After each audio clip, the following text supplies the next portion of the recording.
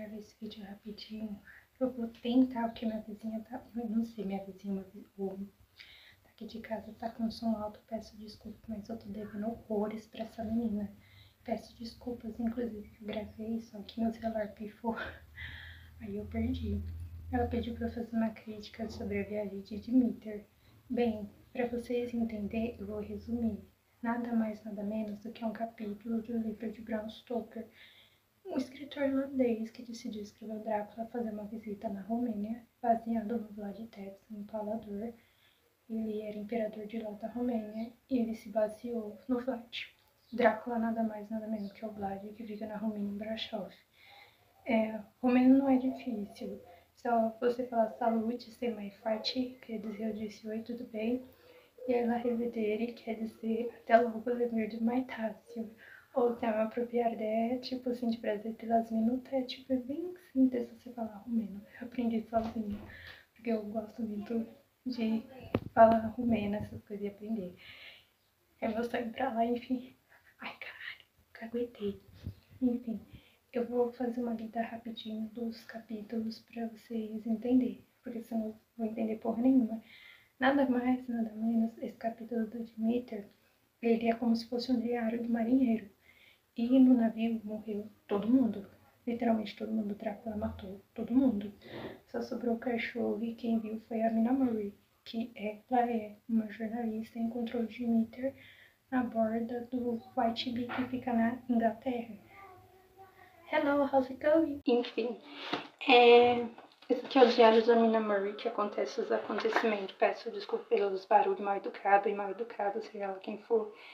É, o Dimitri, ele começa nesse capítulo aqui. Então, para você ler e entender o que aconteceu, você vai ter que ler esse daqui inteirinho.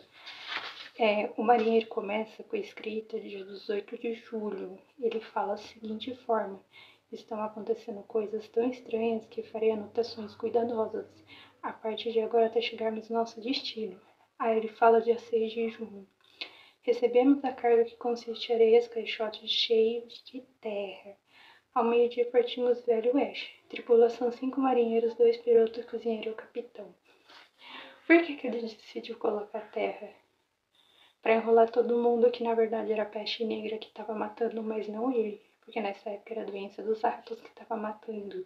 Então ninguém ia desconfiar se tivesse caixote cheio de areia. Filho da mãe esperto, mas é. Aí no dia 28 de julho começa a pegar. Ele começa a falar quatro dias de inferno, tempestade furiosa, ninguém dorme, homens exaltos, é tão difícil por alguém serviço, já não havia condições. Segundo o piloto ofereceu para fazer vigília ficar horas no leme para que os homens passassem a dormir algumas horas. E isso só foi piorando algumas coisas, tipo, e aí ele começa a registrar que os homens começam a sumir. Isso é terrível, mas enfim, ao 1 de agosto, depois de nevoeiro e nenhuma vela vista, esperava que a mancha pudesse pedir socorro. Estamos navegando contra o vento, imediato tornou-se mais demoralizado de todos. Os marinheiros estão trabalhando com paciência e vigor, são russos, imediato e romeno. Carpate, onde que ele estava, o Drácula. Mas enfim, aí tipo, 3 de agosto, meia-noite, ele começa a falar. Vem render o homem que estava no leme. O vento estava muito forte. Gritei pelo imediato que alguns segundos depois apareceu transtornado e murmurou em meu ouvido. Ele está aqui, agora sei. Eu ouvi na noite passada debruçou na, arma, no, na amurada. Aproximei dele, dele uma facada. Mas a facada o atravessou sem ferido, como se eu estivesse cortando o ar. Mas ele está aqui, tenho certeza. Talvez dentro daquelas caixas eu vou abrir uma por uma que fique no leme.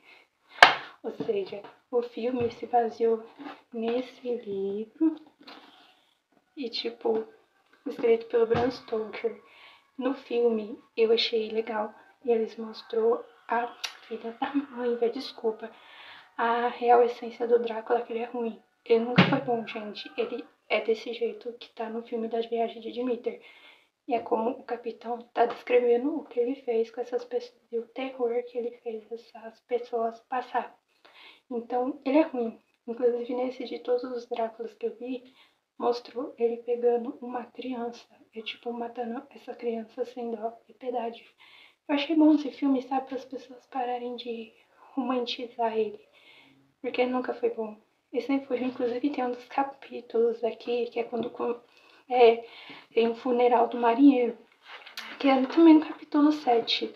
E quando tem o funeral do marinheiro, um senhorzinho na praça é encontrado com o pescoço arregaçado. Ou seja, Drácula matou sem dó esse senhorzinho. Assim como a Lucien Stenra, ela morreu na mão dele, depois ela se transformou. É terrível, ele é ruim desse jeito, ele nunca foi bom. E eu gostei daquele filme porque mostrou o desespero dos tripulantes. Foi legal, tipo, ver eles falando em romeno. E, tipo, acho que eu tô esquecendo. Eu vi muito machismo deu uma raiva, enfim, falando com o povo da época. Ver o mar bravo, essas coisas, sabe? A beleza do mar. E ver que a tripulação depois se uniu, porque, cara, não tem como ser contra. Ele tava pegando por um de uma forma bem violenta e ele, tipo, é bem ruim. Eu fiquei, tem algumas cenas que eu fiquei horrorizada, porque, cara, ele bateu na cabeça do cara no chão e eu fiquei cacete. Porque ele mostrou a brutalidade dele mesmo, sem dó.